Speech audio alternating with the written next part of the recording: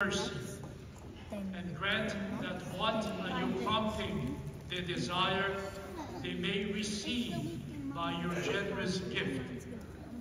Lord, St. Patrick worked tirelessly for the faith, spending his life in its service. With the power of this Eucharist gives, make your people strong in the same true faith help us to proclaim it everywhere by all we say and do. Grant this in the name of Jesus the Lord. Amen. Amen. The Lord be with you.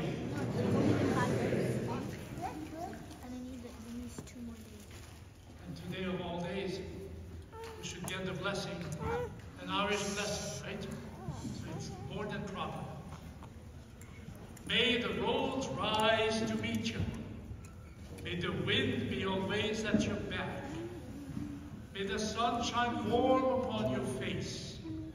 The rains fall soft upon your fields. And until we meet again, may God hold you in the hollow of his hand. In the name of the Father, and of the Son, and of the Holy Spirit.